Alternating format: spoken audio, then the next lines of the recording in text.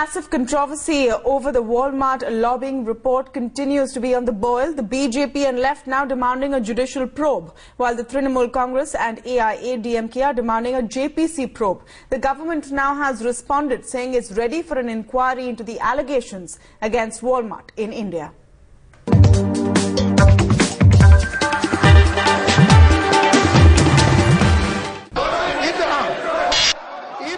If the government does it, I, I am happy. I am happy.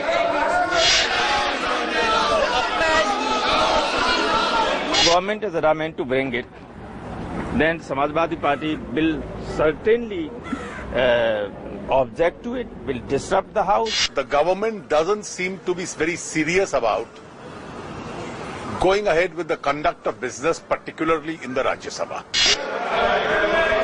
Please.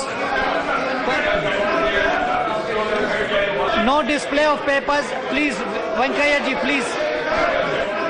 सामने सच्चाई आनी चाहिए कि वॉलमार्ट का पैसा वॉलमार्ट का पैसा किसने किसने खाया और कितना खाया हमें इस पर जाँच बैठाने में कोई हिचकिचाहट नहीं है The House stands adjourned to meet again at 12 hours. Please allow the questioner to proceed. Please allow the questioner to proceed. A situation has arisen in which the chair has to watch helplessly. No display of papers. Please, Venkaya ji, please. मैंने अपने प्रस्ताव में ये कहा था कि जाँच judicial होनी चाहिए, न्यायिक जाँच हो और 60 दिनों के भीतर उसकी रिपोर्ट आए। ये मेरा प्रस्ताव था। हम चाहेंगे कि सरकार उस पर रिस्पॉन्ड करे कि सरकार इस प्रस्ताव को स्वीकार करती है या नहीं करती है। ये तो अखबार में खबर आई कि साहब इतने मिलियन खर्च किए गए हैं। वी हैव नो आइडिया किस पे खर्च किए गए I have no idea you have no idea so don't take it that किसी ने पैसा दिया है और रिश्वत ली है लोगों ने तब वो वॉलमार्ट यहाँ आ रहा है ऐसी कोई बात नहीं है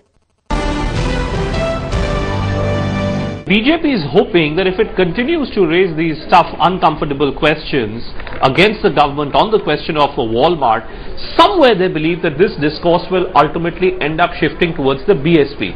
The moot question which has been raised by Yashwant Sinha in the Lok Sabha today is that who all are the people who benefited from what he believes is the bribe money which was offered by Walmart to American policymakers and through those American policymakers, ultimately that money found itself into the Indian markets.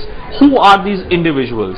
The BJP is hoping that they will be able to somehow bring in the name of a Mayawati and the BSP into this entire debate and make that broader point that the reason why Mayawati supported the government in the Rajya Sabha is not just because of pressure of the CBI but also due to some financial considerations.